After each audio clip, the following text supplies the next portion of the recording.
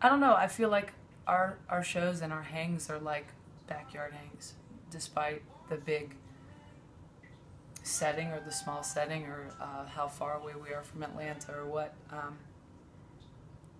we're a family, and I just love it when we can all get together. Um, and it's been a long time since that's happened. So I'm excited to just love on everyone and love on ourselves too. Because don't we all need it? Can we love? Can we share?